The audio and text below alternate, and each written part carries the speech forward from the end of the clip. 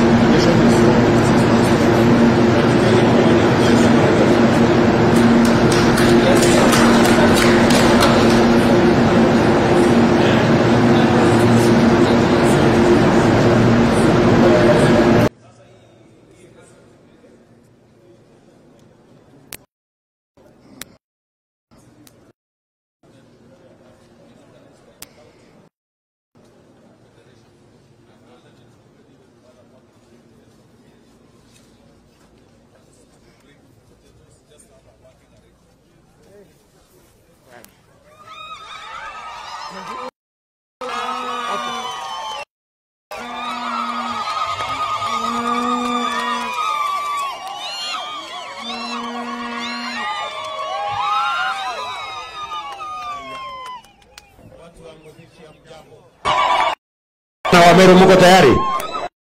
Wameru mko tayari? Na ndio sababu hiyo nimekuja kuanzisha hapa Timau.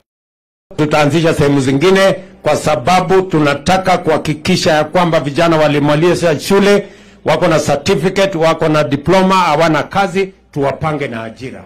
Tumeelewana? Leo vile vile naenda hapa Kerwa kwa sababu tumekubaliana vile vile tupange ajira ya digital jobs. Hawa vijana tuwapange na makompyuta, tuweke internet, na tayari tumenegotiate na Wamarekani na wale Wajerumani na watu wa Ufaransa, UAE, ya kwamba vijana wa Kenya wanaweza kufanya kazi inaitwa digital jobs wakiwa hapa hapa Timau, wakiwa mnaweza kufanya kazi kule Marekani. Sijui kama. Tuko pamoja? Na hiyo naenda napeleka kompyuta mia moja. Kompyuta mia moja hapa katika Kerwa Technical Training College, lakini pia nitarudi hapa kwa sababu tumekubaliana na mbunge wenu na wabunge wote wa Kenya ya kwamba CDF sasa tutatumia kujenga ICT hub katika kila ward.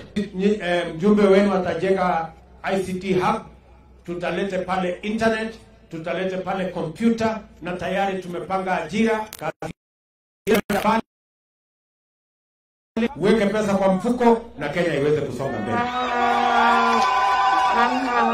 Mimi nataka nimuulize mjumbe wetu hapa Bwana Ndikiri ya kwamba mimi nataka in the next nine months mimi nirudi hapa Buri mimi nilete kompyuta wangwana kufanya kazi ama mnasemaje? Tulisema kazi ya kama wewe ni architect ni kazi, ile ya plumbing ni kazi, ile ya carpenter ni kazi, ile ya mason ni kazi, digital jobs ni kazi. Kazi ni nini? Kazi ni kazi. Hiyo ndio mpango tunataka, kwa sababu hatutaki vijana wa Kenya wahangaike, na lazima tuwe na mpango maalum ya serikali ya Kenya how to create jobs in Kenya. I want to tell the young people of the Republic of Kenya, you have an opportunity in housing, in the digital jobs, in the export of labor, to have a job so that you can get an income and you can manage your life and contribute to the development of our country. So every young people must, every young person must seize that opportunity. Vile mimi nimekuja hapa kwa sababu ya mradi huu. Hii mradi ni kati ya infrastructure ya kilimo, kwa sababu wakulima wengi mali yao inaharibika, viazi yao inaharibika, mazao yao inaharibika, kwa sababu wakingojea soko, wakingojea bei mzuri, mambo yao inaharibika. Ni kweli ama si kweli? Sasa tukienda mbele, mtakuwa na facility hii, mnalete mazao yenu hapa hapa. Viazi inaweza kungojea hata mwaka moja. Wewe unanielewa? Sasa ile watu wajeuri wanatusumbuanga sisi, ati wanakuzungusha, ati ndio saa iende chini, ati uuze kwa ile bei anataka. Akitaka sasa kutuzungusha, tunamwambia rudi siku ingine, viazi yetu itangoja hapa, ndio? Mpaka tukubaliane bei ya sawasawa, sawa. Sijui kama tunaelewana, mpaka tukubaliane ile bei ya sawasawa. sawa. Sasa viazi haitakuwa inaoza, tunaelewana, na mazao ya wakulima itakuwa inaoza because we have a cold room. Na mbali na hii cold room hapa pia tumeweka pesa milioni mia tano ya kujenga County Aggregation Industrial Park mahali pia tutakuwa na cold rooms kama hizi, tutakuwa na processing facilities, tutakuwa na agro, uh, tutakuwa na agro processing facilities na value addition facilities, ndio wakulima wetu wapate mapato zaidi kutoka mazao yao, watuzalishie chakula, wapate pesa na tufukuze njaa katika taifa letu la Kenya. Watu wa Meru tumekubaliana na mimi nataka niwashukuru nyinyi, ni wakulima wa muhimu sana, wazalendo.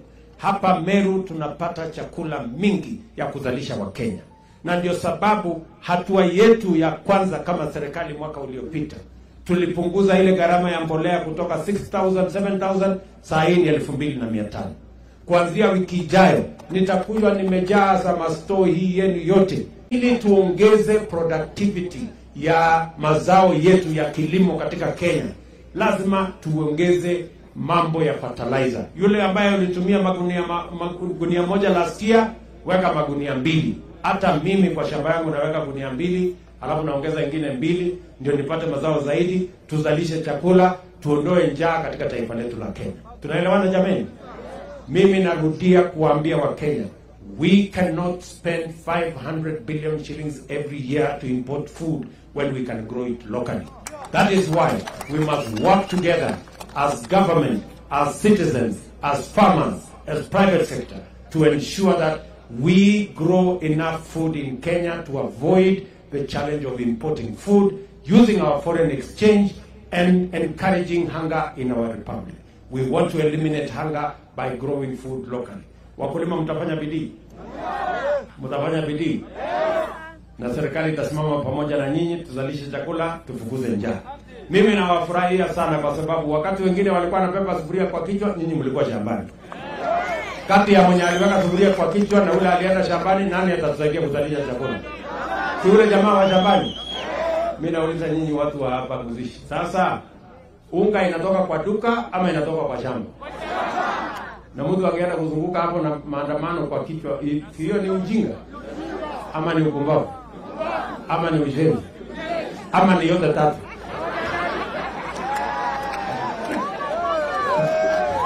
So sitaki kusema kuzidi hapo. Mimi nataka niseme nimefurahi sana kufika hapa. Nimekuja hapa shughuli ya kazi, bado tuko na kazi ingine mpaka kule Tigania, mpaka kule Kianjai, mpaka kule sijui dunia gani Mikinduri, na leo na mimi nimekuja na blanketi. Jameni, mimi ni mtu wa kulala hapa leo. Sasa mtanipangia mahali ya kulala, mtanipangia mahali ya kulala kwa nani? eh? na, na, na, na huko kwenu iko baridi mingi. Sasa sijui mpango ya kulala itakuwa namna gani? Blanketi inatosha kweli? so otherwise, asante sana.